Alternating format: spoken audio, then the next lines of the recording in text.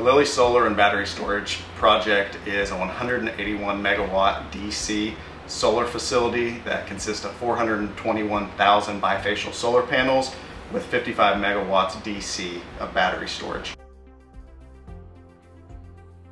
The difference between the solar and the battery is that the solar produces energy during the daytime uh, when consumers are at home and using the most energy, whereas the battery at the same time is sitting fully charged, ready to be deployed at any time whenever ERCOT determines that there's a need.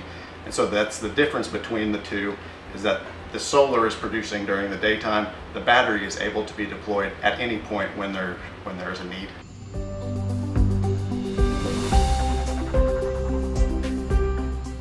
The PV panels support the BESS by providing the solar power to the substation, which then goes from the substation to the transformers in the BESS yard and then to the power conversion systems and then to the batteries themselves, at which point they're charged. And we have the ability to then discharge those batteries as needed or necessary back onto the grid.